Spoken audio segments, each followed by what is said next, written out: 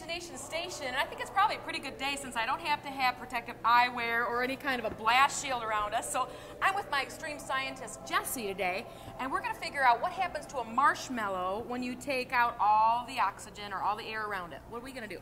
Absolutely. So, um, just to intro this a little bit, so in, in a balloon, when we fill it up, there's a whole bunch of air molecules whizzing around in there, pushing on the outside of that balloon. Now, the only thing that keeps this balloon from expanding and expanding forever and ever um, is the fact that there are air molecules on the outside of the balloon also pressing in on it, all right?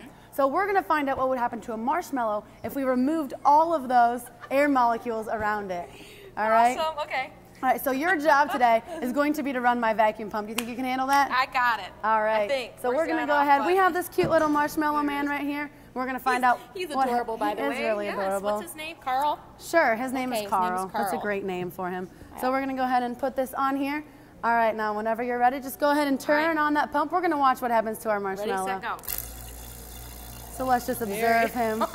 What do you He's see happening to him? bigger He's taller. growing Yeah. and growing. What's happening underneath there? All right, so what's happening is we're pulling out all those air molecules. So all the air molecules inside that marshmallow, there's thousands of tiny little air pockets, and they're all expanding and they're all um, making that marshmallow grow. That's awesome. He's he's like three times the size he was when we started.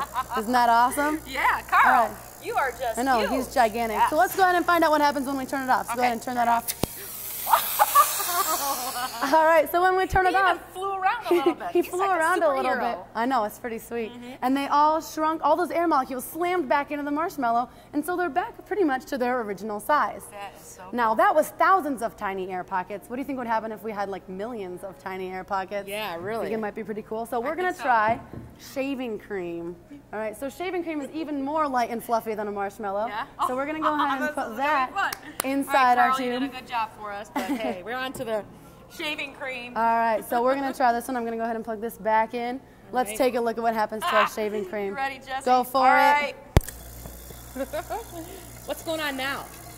Check it out. So it's exactly the same thing. We're removing the air from around the shaving cream, and all those air molecules are just flying out of there. They're expanding. They're making that shaving cream get huger and It's more, huger. it's more than double, tripled probably. I know it's, now, it's right? gonna fall Oh, over. Wow. No big deal. But the cool thing about the shaving cream is, like I said, it's way more light and fluffy Yeah. than a marshmallow. So what do you think might happen if we take the, uh, if we put the pressure back into our vacuum? It's gonna shrink back down to its You think so? size. You wanna know. find out? I do. Heck All yeah. right, let's Ready? go ahead and try. it. Go ahead and turn it off for All me.